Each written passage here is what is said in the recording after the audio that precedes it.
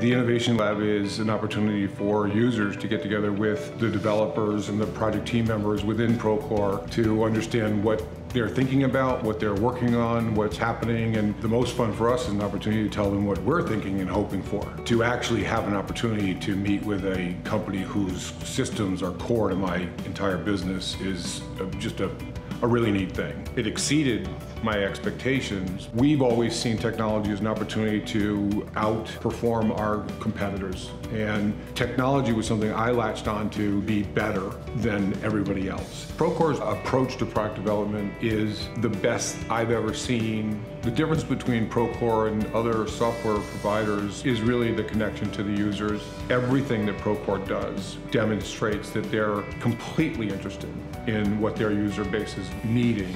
You guys keep talking about pain points, and the funny thing listening to that in, in the Innovation Lab is there are no pain points because it already, it, it works. It's phenomenal. There's so much more you can do, and you know that better than we do.